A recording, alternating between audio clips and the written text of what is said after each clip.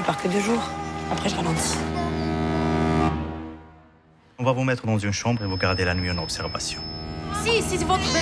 my baby.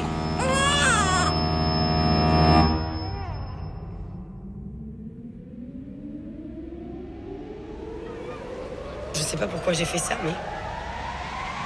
J'ai pas réfléchi. Tu peux pas le ramener en France, ce bébé. Tu sais ça.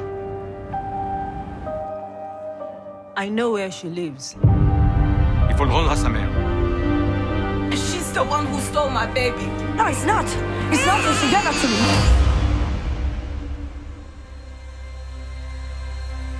T'as pas envie de rentrer? C'est bien sûr que j'ai envie de rentrer. Pas avec ce vide. Arrête maintenant.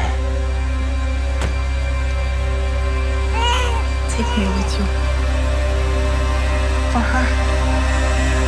Mettez-vous sur le côté, s'il vous plaît.